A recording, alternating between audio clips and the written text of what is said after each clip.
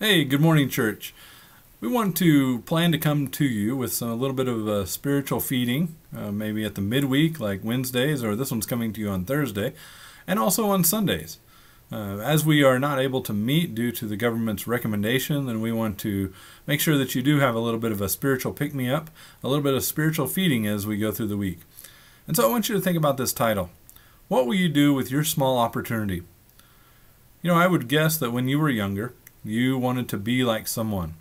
It could be someone uh, that was an actor or actress, maybe an athlete, maybe somebody that had a lot of money. Uh, it could be even an older person that was close to you, but for whatever reason, they probably did something big, or at least big in your opinion. You know, something that maybe deserves some fame or notoriety.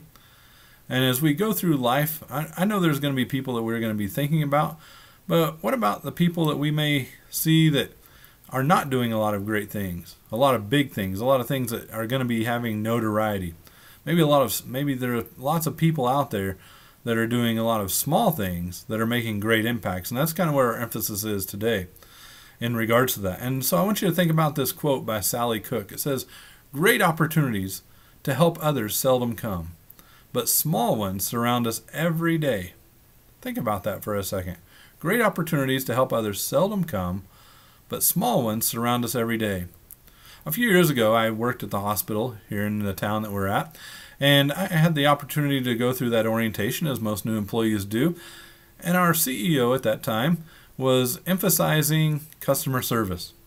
He was saying, you know, even if you're going to be late for your own meeting, go ahead and help that customer out because it's going to make a great impression on them, a big impression on them, because of the fact that you took time out of your day to help them. And so I kept that in mind. I was always looking out for people who maybe needed it. And so about a year and a half into the time that I was there, there was there happened to be a lady that was in an area of the hospital that normally people that weren't employees weren't in. Uh, and so it's kind of a confusing area. It wasn't uh, again, it wasn't a normal area for non-employees to be there. And so I asked her if she needed help and she said yes. And so I took her back to where she was going. She was there for a training, and she had just taken the wrong hallway and a wrong elevator to get where she was at. Once we got there, she was very gracious of the fact that I took time out of my day to help her. You know, was that a situation in which deserved any kind of notoriety? No, it really didn't at all. It was just kindness, it was just helping someone out. But to someone who was lost, someone who really didn't know where they were at, maybe felt stressed because they were late, it probably made a great impact. It probably made that big, in, a big impact on them to be able to say, "Hey, someone took the time out to help me." And so I want you to think about that and think about the opportunities that are around us every day. Though you may have grown up wanting to do something famous or wanting to be someone famous, the idea there's all kinds of opportunities around us to do something great that may be actually small in the in what we are actually doing, but the impact is going to be a lot bigger. And so I want you to think about as we do that, we are not doing it to put the spotlight on us, but we are doing it to put the spotlight on God. And so with that, then we need to think about a little bit about humility in that. And so Philippians chapter 2 and verse 3 is one of the first uh, scriptures that we're going to be looking at. It says, Do nothing out of selfish ambition or vain conceit, but rather in humility to value others above yourselves and also Colossians chapter 3 and verse 12 it says, "Therefore, as God's chosen people, holy and dearly loved, clothe yourselves with compassion, kindness, humility, patience, and gentleness." Know, those are important things to think about in regards to when we are doing things for others and we want the spotlight on God is to be compassionate, kind, humility, have humility, uh, be gentle, and also be patient.